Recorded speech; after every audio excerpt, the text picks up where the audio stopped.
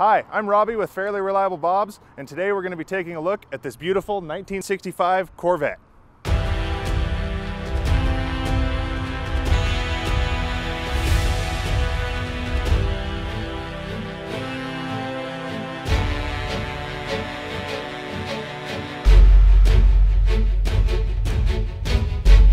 So 1965 was smack in the middle of the second generation Corvette, or C2, which is often thought of as the best run of an American sports car of all time.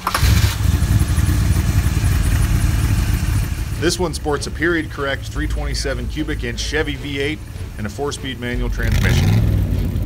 Great sounding side exhaust, rally wheels, the pop-up headlights that were introduced in the C2 generation and stayed on Corvettes until the introduction of the 2005 C6, which didn't have them.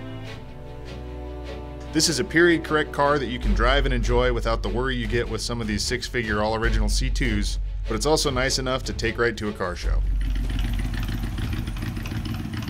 So now that you know a little bit about the car, let's go take it for a drive. Come on.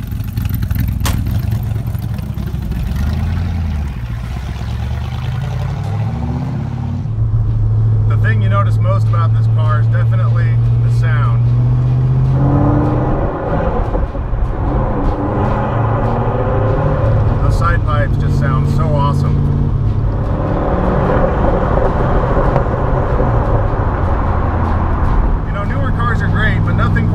getting in a classic Vette and doing this.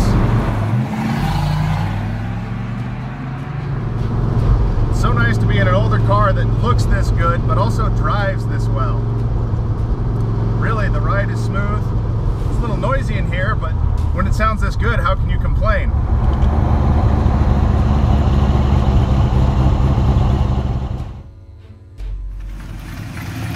So we know the car looks great and is fantastic to drive, but how is it underneath?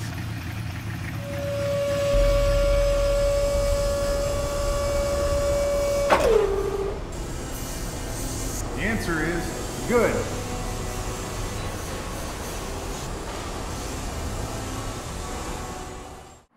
Thanks for taking a look at this 1965 Corvette Coupe with me today. If you'd like to know more about the car, visit our website below or give us a call at 208 342 7777. Again, my name is Robbie. Thanks for your time. Hope to see you again soon.